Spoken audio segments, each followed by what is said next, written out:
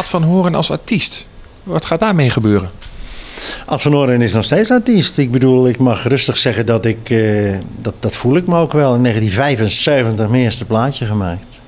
En ondertussen wel, eh, en alleen en met Karin samen, 60 singles en 26 albums geproduceerd. Mag ik, vind ik zelf best wel zeggen dat ik artiest ben, ja. Want je treedt nog steeds regelmatig op. Ja, treedt nog op, inderdaad. Afgelopen zaterdag toevallig nog. Eh, Dat is dus in, eh, in oktober, nee, in september nog geweest. Voor de mensen die denken van, hé, hey, waar heeft hij het nou over afgelopen zaterdag? Want je weet nooit precies wanneer dit er is. Nee, dat, eh, dat doe ik en dat blijf ik doen zolang het, het, het gevoel door mijn lijf strooft dat ik het niet moet laten. En ik voel me er nog hartstikke goed bij. Als er nou artiesten zijn die zeggen: Ik wil graag nog eens een keer een liedje van Ad, waar kunnen ze dan terecht?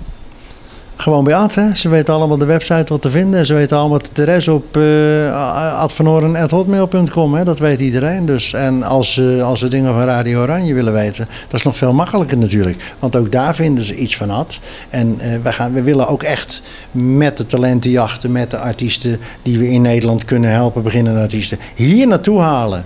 En ze hier lekker clips op laten nemen. En je hebt het zelf gezien, het is toch een gigantische omgeving hier. Het is een fantastisch, je kan hier fantastische clips En deze mensen ook helpen. Bij Radio Oranje hier in Spanje en bij TV Oranje in Nederland. Dan heeft iedere artiest een kans. Dus dat, dat is wel mijn hoofddoel.